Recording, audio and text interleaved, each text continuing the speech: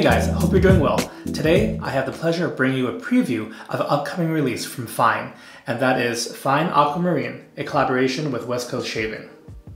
So before we get into the shave, let me show you what I'll be using today. First up, my brush has been soaking, and that is a brush from Grizzly Bay. You see right there, the coin to go along with the vintage theme of today's shave, I've chosen the Schick Type I injector razor. I know there's some huge fans of the injector type razors. I don't think I've used too many on camera, so I thought it'd be a good time to bust one out for today. And in terms of post shave, we have the matching aquamarine splash, and I'll also be using uh, this kind of sample size of the Zingari Aftershave Balm, unscented. So you can see uh, the fine soaps now come in a plastic tub. It's of small plastic tub. It's not flush, the, the soap puck is not flush against it. Um, I've used this a few times in testing and so it's kind of adhered to the tub now, but initially when you pick it up, it does kind of rattle around a little bit. Not really a big deal. Uh, you can also see faintly here that there is the kind of stamped in you know, logo around the soap itself. It's a very, it's triple milled, so it's a very, very firm soap. So I'll probably be going for, instead of a 30 second load, I think I might just go for a full minute and I, we can chat about uh, a little bit more behind um, this soap while I do so. All right, so what can I tell you about the soap while I am loading? Um, this, of note, is the first non-dupe, non-clone scent that Fine has done. This is also the first collaboration, um, perhaps barring an early relationship with RazoRock up in Canada um, that Fine has done. So this exclusive scent was provided for on West Coast Shaving's end. And for those less familiar with the Fine soap, um, it is based on the same soap base as Tabac, a very popular shave soap um, originating from Germany.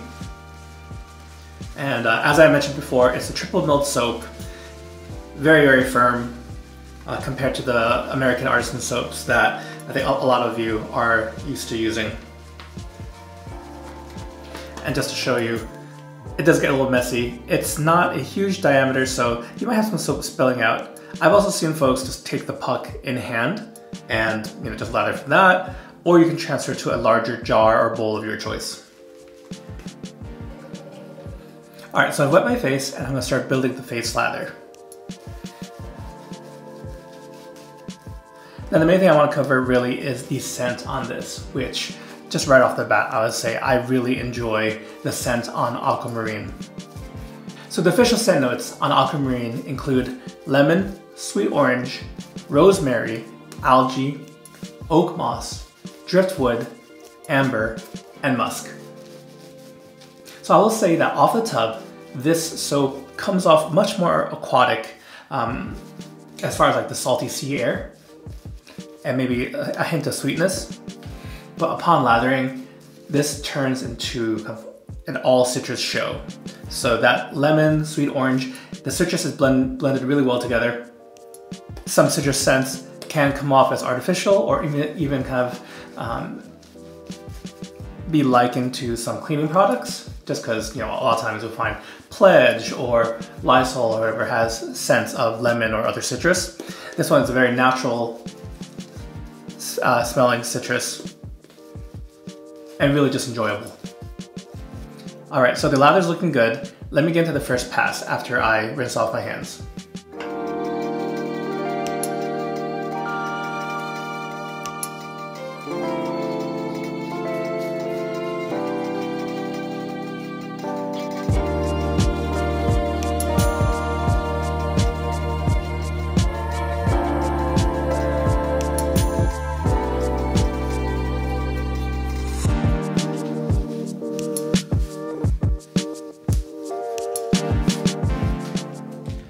the first pass is done, no issues, you know, easy peasy.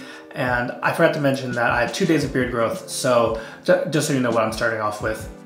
I also want to read for you, um, besides the official scent notes, kind of the description behind the scent, and that is, Aquamarine evokes the carefree feeling of relaxing seaside under a warm sun, accompanied only by the rhythmic sound of the surf. So this is definitely, you know, going for that sunny outdoors feel, uh, spring if not summer, uh, and I think this scent definitely captures, you know, kind of what it's going out for.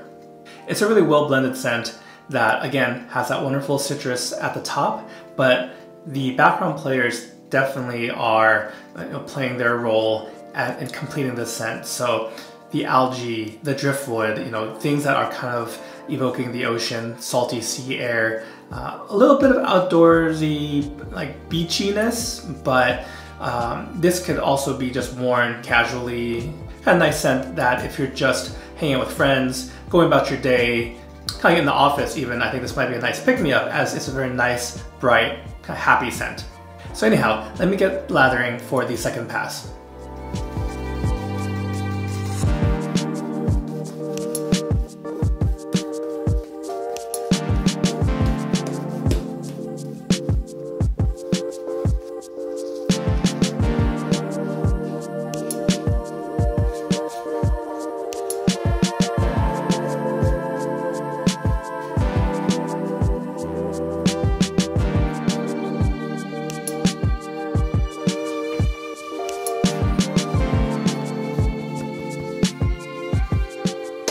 All right, so the against the grain pass, no problems there either.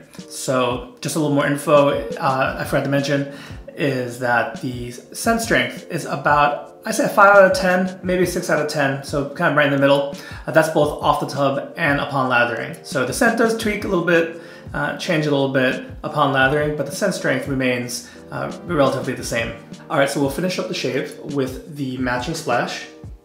And Fine does have some great aftershaves. I think that the the scenting, um, given that they're all you know dupes of existing scents, you know whether it be uh, cologne scents or just other scents that are enjoyed in wet shaving, uh, they do it really well. The aftershave itself, the formula rather, is very simple and straightforward. Mm, that's and that includes alcohol, water, fragrance, and menthol. So very, you know, very old, old school as far as what is providing a little bit of burn from the alcohol and then kind of some instant cooling from the menthol. As I mentioned before, I'm going to finish off also with the Zingari Man Unscented Aftershave Balm. I did find that the soap splash combo from Fine can sometimes leave my skin feeling uh, a little bit tight and especially in the winter, you know, it needs just a little extra help as far as moisture.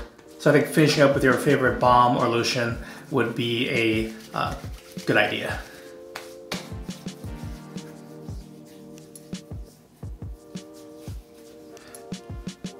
The Zingari Man Balm is one of my favorites, so kind of once the sample size is done, I definitely have my eyes set on picking up a full bottle.